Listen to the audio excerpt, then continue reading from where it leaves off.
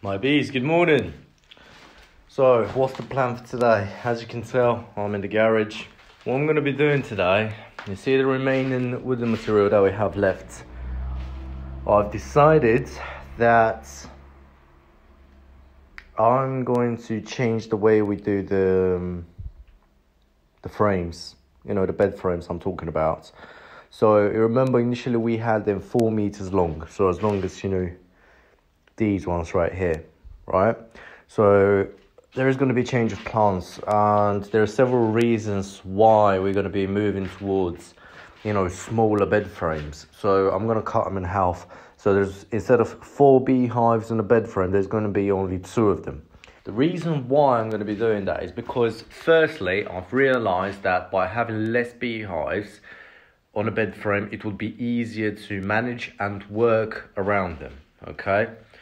So this is the main reason why. Um, the other reason is because of the transport. Instead of having to borrow a vehicle every time I want to move them around, I want to I want to take that wooden material over to the apiary, rather than having to borrow a van from someone. I can use our own car, right? And last but not least, there is a little problem with um, the actual leveling. So because because four meters is quite long, right? And not everywhere is going to be properly leveled. So some places I have to either dig down into the ground or I have to put something underneath the you know the feet of the actual bed frame. So it's not ideal. By you know all of these problems that I'm facing right now, they could get resolved by simply just cutting down you know the bed frame size in half. I've cut all of those, those and those over there. I've just used the angle grinder to get them, you know, nice and smooth around the edges, yeah? And our order is left is literally just get them painted in this, what's meant to be brown color. All of them bad boys done, them ones done, being cut, cleaned, polished and painted. So tomorrow I'm gonna do the second coat you remember that I ordered another big roll of the weed sheets. So, you know, the 100 meter long one. So that's coming tomorrow. And once I've done the second coat, I've got the weed sheet as well. Then I'm going to assemble the bed frames.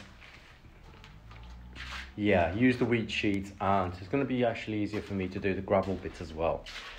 So, yes, guys. Also tomorrow I'm going to be visiting the master beekeepers um, apiary. We gotta be um, feeding our bees. We gotta check on them and prepare more frames with wax bases because, as you know, they're pulling ahead very strong. And you know, I keep making more bases, but they just keep needing them. So that's good news, you know. Nothing, nothing that I'm complaining about. As long as they, as long as that keeps happening, then happy days, guys. Happy days. But yeah, as I say, I'm gonna call it a day now. Hope you hope you all had a lovely Monday, and you'll hear from me tomorrow.